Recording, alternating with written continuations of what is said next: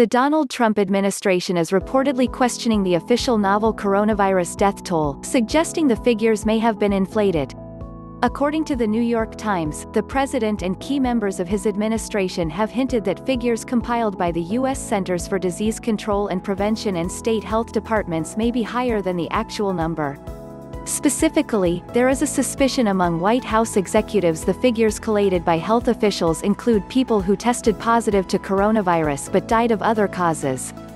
Form Newsweek but last week, President Trump said he accepted the official toll and that he expected at least 95,000 people to die from coronavirus in the U.S., but that the figure could reach 100,000. We may be talking about 95,000 people ultimately, he told reporters at the White House last Friday. We may be talking about something more than that. As of Saturday morning, more than 96,000 deaths have been recorded in the U.S., according to Johns Hopkins University, which has been tracking the outbreak using combined data sources. Over 1.6 million cases of coronavirus have been reported in the U.S., by far the highest tally of any country in the world. There have been over 350,000 confirmed recoveries. More than 338,000 people have died globally since the outbreak of coronavirus was first identified in Wuhan, a city located in China's central Hubei province, late last year. There have been over 5.2 million confirmed cases globally. In a press conference last month, Dr. Deborah Birx, the White House's coronavirus response coordinator, hinted the U.S. healthcare system's definition of coronavirus-related deaths was looser than in any other countries.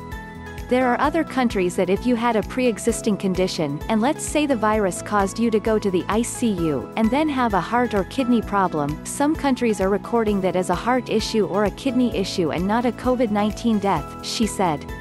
Deaths at nursing homes and the lack of widespread testing are a major stumbling block in producing an accurate death toll.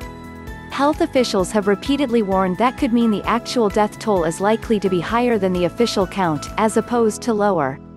Earlier this week, a new study published by Columbia University found that up to 54,000 lives could have been saved had the U.S. implemented social distancing measures and locked down metropolitan areas from the beginning of March.